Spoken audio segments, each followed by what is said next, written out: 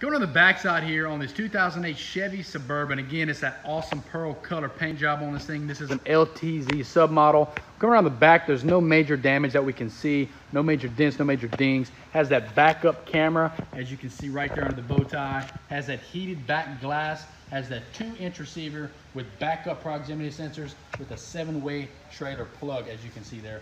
And on top of that, the 5.3 liter engine has is a flex fuel engine, so that does help quite a bit with fuel economy and power. Has that Chevy chrome tipped exhaust there. And I said again, this is an LTZ, so it has lots of chrome trim, lots of nice amenities on the inside and on the outside, including that nice cargo rack. You see there's no major damage on this unit whatsoever. It's been very well taken care of. It's been very well um, driven and uh, maintained. We can't see anything major wrong with it. It was driven into us. It goes down the road. It shifts through the gears. It does seem to do what it needs to do. Very, very nice setup here. 5.3 engine. Uh, only has around 110,000 miles. Only at auction time at Brookhouse Auctions will it be bought. Thank you.